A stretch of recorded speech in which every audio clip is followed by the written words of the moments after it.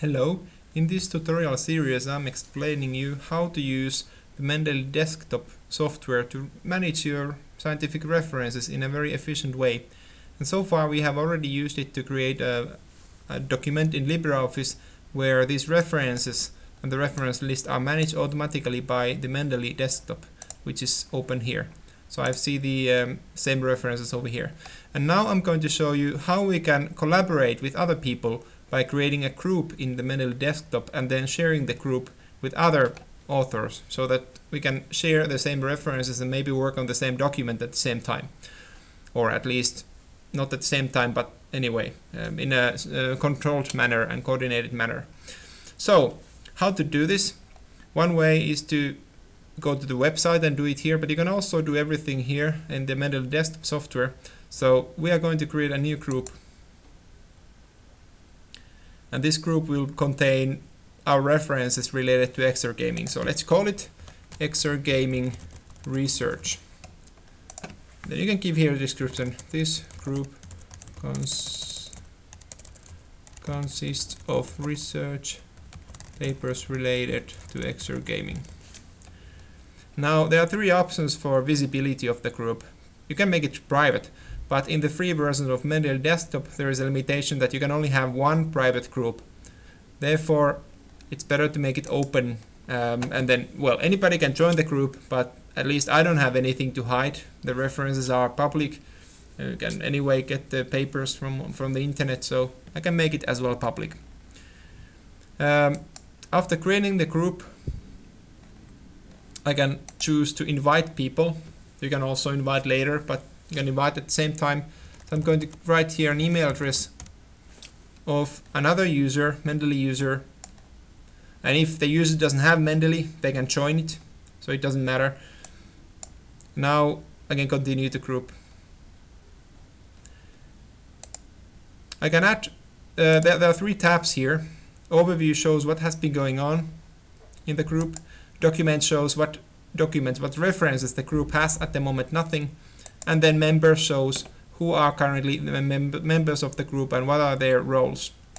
So before I go to anything else, I'm going to add these existing references. So how to add these references that I have here to the group? It's easy, select them, drag and drop. Now you can see that they are here, the same references in two places. And indeed, these are copies now. So if I go ahead and, for example, change this Abraham et al.'s year to 2014, which is of course not true, but let's just change it for, the, for an example. And you can see that it's now 2014 here in Exergaming Research Group, but if I go to my library, have a look at the same reference, it's still 2012. So you can see when you drag and drop references, it actually makes a copy. So you have to be a little bit careful about that. So now let's go to another profile. I have here a Windows installation with another user. And how can I get the same group here? For now there are no groups here. So I'm going to check my email and accept the invitation and then the group should be adding uh, itself here. Just one moment. So what happened is that in the email you get a link. When you go to the link, it opens the Mendeley website where you log in and then you can choose to accept the invitation. And after you accept the invitation, you still cannot see the group here. The only thing you need to do is sync. And then you should have the same group here. You can see the members, there should be two, the owner of the group and John Doe, which is this current profile. But where are the documents? Well, whenever you work in a group, or whenever you're working with the Mendeley desktop between different computers, you always have to remember to sync. So now I've added these documents to this group, but I didn't sync. So let's sync first. Wait a minute. It's uploading them to the cloud. You can see the progress at the bottom. Then we change back to this virtual box, virtual machine and also sync here and now we have the same documents here. Abraham with 2014 year. So let's say this author wants to add more papers. So let's add them That's some, okay, that's some weird error. Let's add one by one if it doesn't work otherwise. Okay, now it added them. So we have now five more papers added. And well, we can of course edit, we can check that everything is correct. But I'm just going to sync, upload the changes to the cloud. It takes a moment because I have now the PDF files to upload as well. Now if I go back to the original, the group owner, and sync here,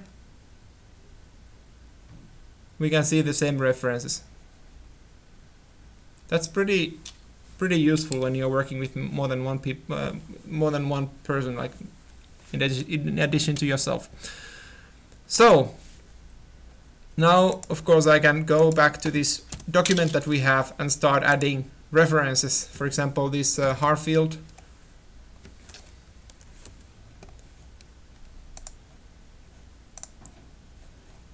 One more thing.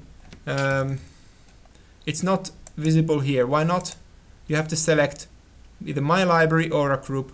So we are working with the group now and the Harfield reference is only in the group because the other guy was sharing it. So now the Harfield was added also to the list. So that's how you share a group, share a group of references with your colleagues and synchronize between more than one person working on the same document. Now you have to be careful, always remember to synchronize, otherwise the other guys cannot see your references. Whenever you make changes to the Mendeley, whenever you add things, you edit things, delete, always remember to synchronize and when you start to edit again or you open Mendeley for the first time, first thing hit sync so you get the latest stuff, stuff from the cloud. Thanks for watching, it has been fun.